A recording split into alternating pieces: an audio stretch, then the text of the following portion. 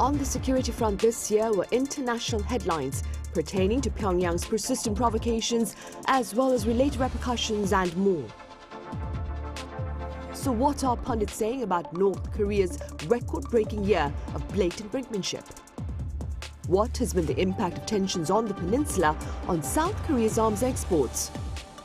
And what are the implications of North Korea's border and cyber violations?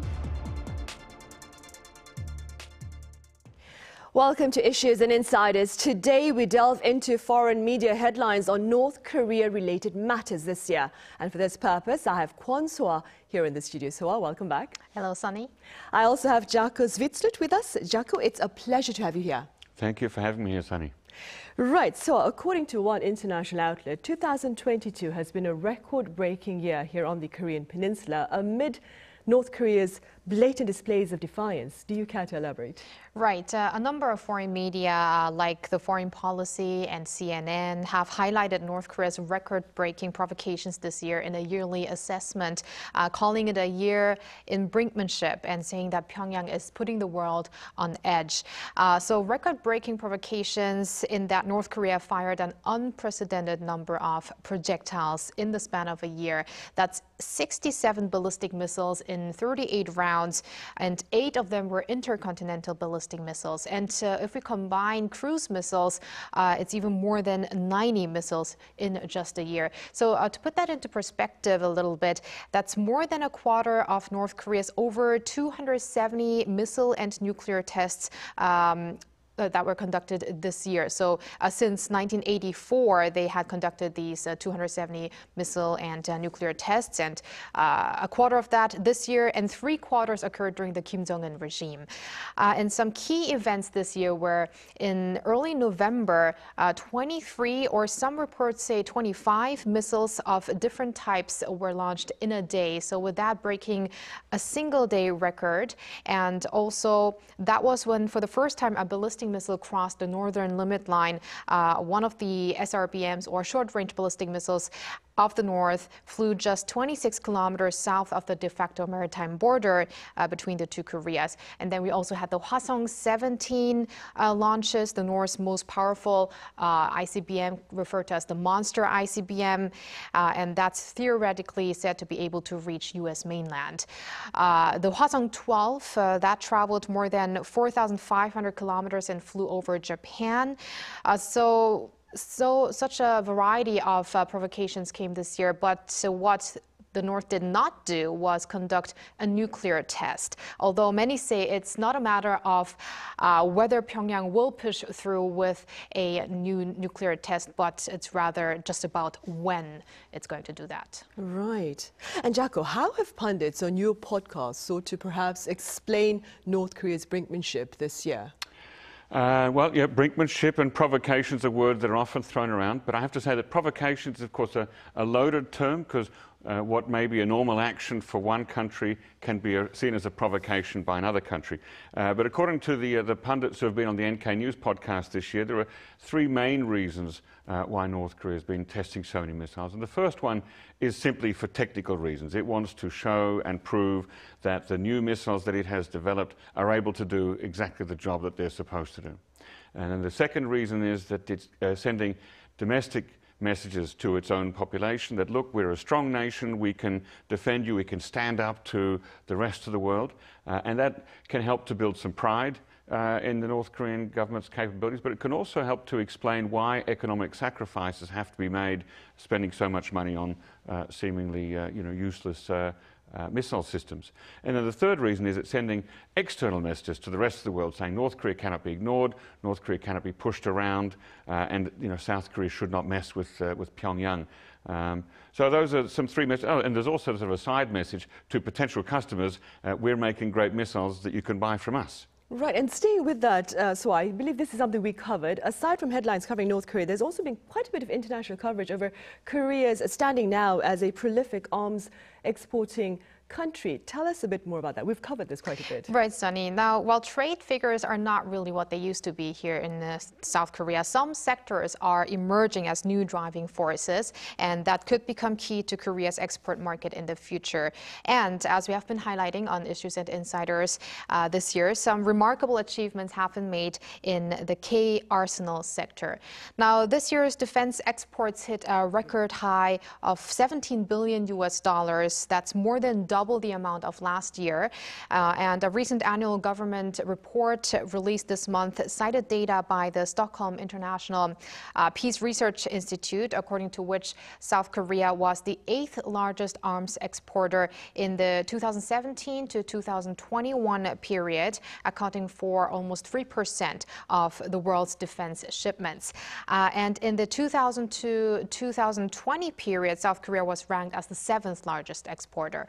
Uh, the Yoon Suk-yeol administration has been stepping up uh, efforts to turn the country's high-quality arms into uh, future growth engine and then eventually become the world's top uh, four, number four in the defense export market.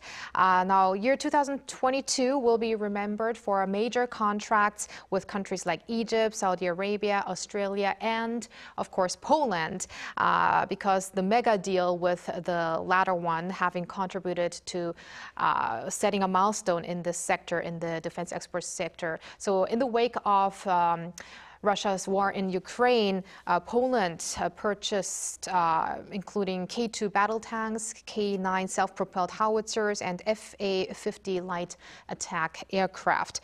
Uh, and the range of the deal is uh, estimated to total between 15 and 20 billion U.S. dollars. Right, and beyond weapons, uh, Jacco, also in foreign headlines was talk about Kim Jong-un's daughter, whose appearance also sparked speculation about a possible female leader leader in the future. What more can you tell us? People love to see a visual representation of power, and all around the world there's a fascination with royal families in every country, wherever they exist. Uh, now, North Korea, because of its uh, highly closed and secretive nature, uh, it, it, heightens that interest a little bit more. So, indeed, when Kim Jong un brought his daughter to work to watch a missile launch back in November, uh, it, it, unleashed a lot of speculation and excitement and talk about uh, succession. All we can really say for sure uh, is that Kim Jong un wants to be portrayed as a family man. And that's different from his father. Kim Jong il didn't go around with his family. We didn't see his wife and children in public until uh, September of 2010 when there was that great coming out party for Kim Jong un. And that was the first time that we knew Kim Jong un's name uh, in North Korean state media. Now, in the case of the, the daughter of Kim Jong un, uh, it has been reported that her name may be Kim Joo ae, but that hasn't been used in North Korean state media. Her name has not been revealed in the state media. That's simply what the rest of the world is saying. So uh, it's interesting that we, we, actually have very few details. They're using a term of something like noble daughter or a very revered uh, child. Uh, but other than that, uh, we don't know whether she's a chosen successor. She may be, but it's far too early to say anything uh, more than that Kim Jong un wants to be seen as a family man at this time. Right. What we do know, however, so moving forward, of course, is that this year North Korea acknowledged the outbreak of COVID 19 within its territory. Right. So for a very long time, uh, around two and a half years, actually, North Korea claimed it was COVID free, uh, tightening its borders and implementing strict virus prevention measures. And uh, given it's already the most isolated country in the world, uh, it may have sounded plausible for a time being, but then it actually went from zero cases to more than a million. And uh, the country acknowledged an outbreak for the first time in the month of May this year. And this and prolonged uh, border closures as well as antivirus measures. And uh, with that, even fewer transaction with the world, uh, fewer communication with the world, and that led to a worsening in shortages in food, medicines, and other necessity supply, and that according to human rights groups. Uh, in fact, satellite images by Human Rights Watch said North Korea's authorities imposed excessive and unnecessary border closures since January 2020, and that included up upgraded fences, guard posts, and patrol roads. And uh, despite becoming more isolated than ever, hardly any communication with the outside world, uh, it did not accept vaccines or uh, medical support that South Korea has been offering, for instance. But uh, the North did not spare money and research, uh, resources in continuing its development of its nuclear and missile program. Uh, now, speaking of the South, in August, Pyongyang declared uh, a victory over the virus and at the same time blamed neighboring South Korea for its first outbreak. Uh, how the situation looks at this point, uh, and to which extent the virus has spread or has been contained uh, has not been confirmed. Right, unfortunately, of course.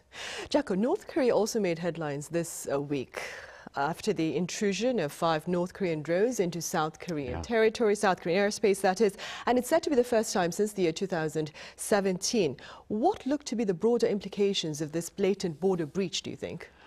Well, I have to put it in, in some context. Uh, there is, since there is no recognized national border between the two Koreas, uh, because both sides claim jurisdiction over the whole Korean peninsula, uh, so technically what this is, is uh, to do with the armistice agreement, right? There's no border, but since July uh, 27, 1953, there has been a military armistice agreement designed to stop fighting and any kind of provocation uh, between the two sides.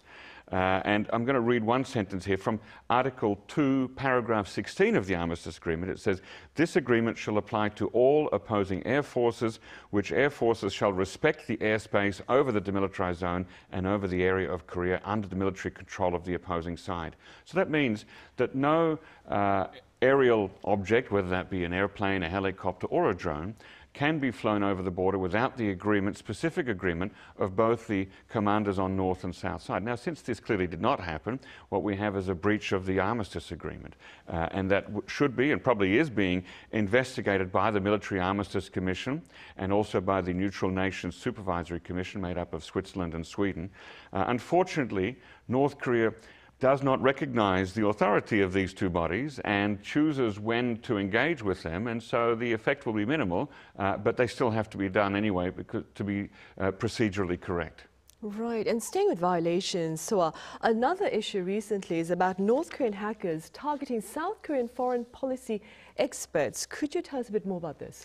Right. Uh, foreign media outlets and also uh, domestic outlets here have been citing South Korean authorities that claim North Korean hackers carried cyber attacks on at least 892 foreign policy experts here in South Korea uh, in a bid to steal personal data and also uh, to steal email lists as well. And uh, this incident was just reported a few days ago, but uh, the actual attacks were said to have begun in April. Uh, the National Police Agency said the hackers also attacked online malls with ransomware. And among the think tank experts and professors that were targeted, 49 recipients of spear phishing emails uh, that claimed to have been sent by South Korean political figures. Uh, these uh, 49 people actually ended up opening uh, the links in the email and then visited fake websites and logged in. And this revealed their email accounts and data as well. Uh, two companies paid 2.5 million won, around $1,200 ransom. Now, South Korean authorities have been saying that the attacks were meticulous, sophisticated, and uh, uh, surprisingly real.